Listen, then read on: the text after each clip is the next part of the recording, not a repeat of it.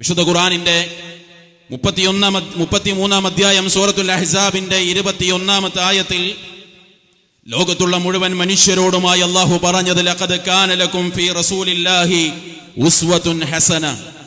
തീർച്ചയായും നിങ്ങൾക്ക് അന്ത്യപ്രവാചകനിൽ ഏറ്റവും ഉത്തമമായ മാതൃകയുണ്ട് എന്ന് വിശുദ്ധ ഖുർആൻ നമ്മെ ഓർമ്മപ്പെടുത്തുകയാണ്.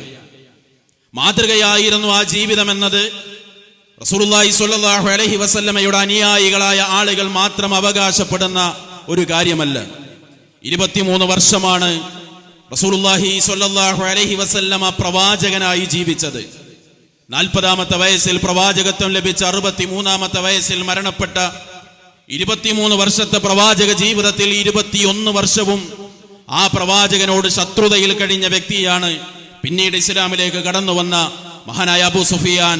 റളിയല്ലാഹു അൻഹു. അദ്ദേഹം ശത്രുവായി നിലകൊള്ളുന്ന കാലത്ത് ഹിർക്കൽ ചക്രവർത്തിയോട് നടത്തിയ സംസാരം ചരിത്രത്തിൽ രേഖപ്പെടുത്തപ്പെട്ടത് നാം എത്രയോ തവണ വായിച്ചതും കണ്ടതുമാണ്. അവിടെ തന്റെ ശത്രുവായി നിൽക്കുന്ന പ്രവാചകൻ സൊല്ലാഹു അലൈഹി വസല്ലമയെ കുറിച്ചാണ് ഹിർക്കലിന്റെ ചോദ്യം.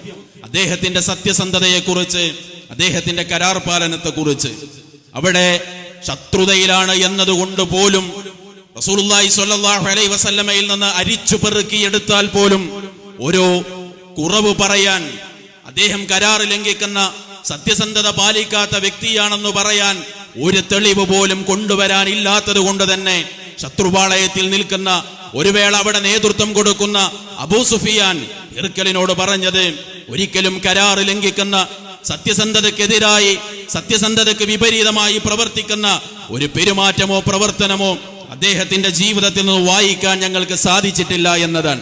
അതായത് സത്യസന്ധതയ്ക്ക് ശത്രുവിന്റെ പോലും അംഗീകാരം ലഭിച്ച ജീവിതമായിരുന്നു റസൂലുള്ളാഹി സ്വല്ലല്ലാഹു അലൈഹി വസല്ലമയുടെ ജീവിതം എന്നത് നന്മകളെല്ലാം പഠിപ്പിക്കുകയും എല്ലാത്തരം തിന്മകളെയും തിരുത്തുകയുമാണ് ആ പ്രവാചകൻ ചെയ്തത് എന്ന് പ്രവാചക ജീവിതത്തെ ഒരാവർത്തി വായിക്കുന്ന ഏതൊരാൾക്കും നിഷ്പക്ഷമായി ചിന്തിച്ചാൽ കണ്ടെത്താൻ കഴിയുന്ന കാര്യമാണ്.